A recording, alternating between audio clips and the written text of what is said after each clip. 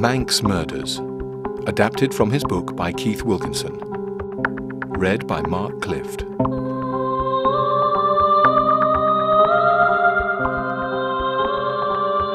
The Tragedy of the Killier Family.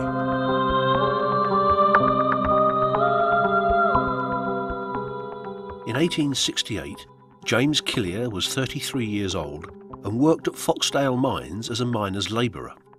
His wife's name was Esther, and the couple had five daughters. The oldest Selina, aged seven, then Emily, Anna Louisa, Elizabeth Esther, and the youngest Madeline, aged three months.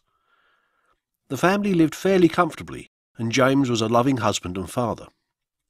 His brother-in-law, Archibald Shimmin, also lived with them, working as a labourer. In March 1868, James went for a drink one night after work and came home not entirely sober, according to his wife, who claimed he also said, I have been speaking of people whom I ought not to have spoken of. Over the next few weeks he became increasingly depressed and withdrawn. On Wednesday the 1st of April he came home from work and said they should leave for America and that he was about to lose his job at the mines. His wife discovered that this was untrue. The next day, when he returned from work, he told his wife, who was cutting potatoes, You are not to cut much, as the potatoes are not going to get leave to grow, as when they come up the blossoms will be pulled. He was also reported to have said, My cows may be burnt in the cowhouse, my sheep will be killed on the mountains, and the house burned over our heads. He was very restless and hardly slept at all that night. On the Friday morning, he took three of his children to see the corpse of a little nephew who was to be buried later that day. When he returned home, his wife was worried about his behaviour and asked her brother to keep a close eye on him. He wandered into the garden and sat next to a well while his wife worked in the cottage. She was just taking the baby out of the cradle when she heard a cry of Dada, Dada from outside. She saw that two children were missing and James held another girl over the well. He dropped her in before turning on his wife. After a brief struggle, he grabbed the baby and threw her in too. Esther ran off screaming for her brother as Emily walked into the yard. Her father threw her into the well too, before jumping in himself. Archibald Shimmin arrived after a few minutes and went down the well several times in the bucket, bringing up four of the girls. Two were dead, the other two unhurt. The bodies of James and the eldest child had sunk to the bottom and were brought up later after being dragged out with a boat hook.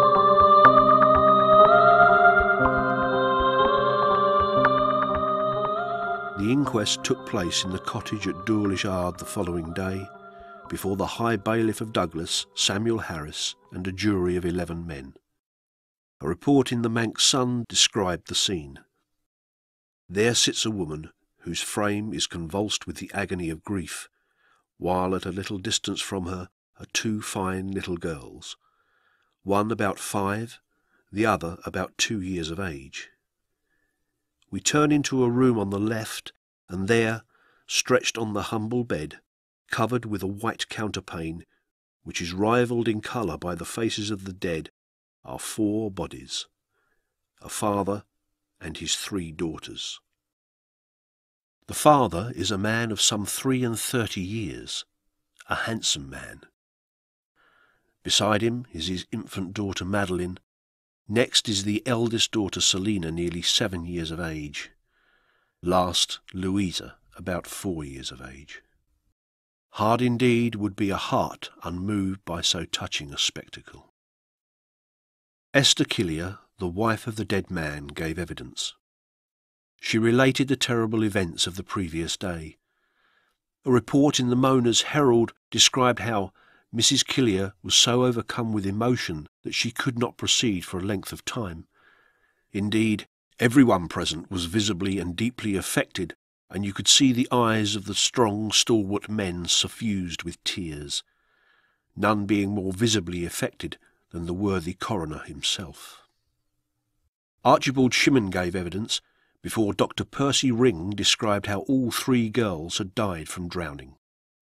The jury returned a verdict to the effect that all four had died from drowning and that James Killier was at the time in a state of temporary insanity. The spokesman for the jury said they wished to express their approval of Shimmin's bravery in going down the well and rescuing two of the children. The funerals took place the following day at Patrick. Another report described the scene. The bodies were all interred in a double grave. It is estimated that there could not have been fewer than from two to three thousand persons present, and there was scarcely a dry eye to be seen. Indeed, callous must have been the heart which could have witnessed such a mournful spectacle and still remained unmoved.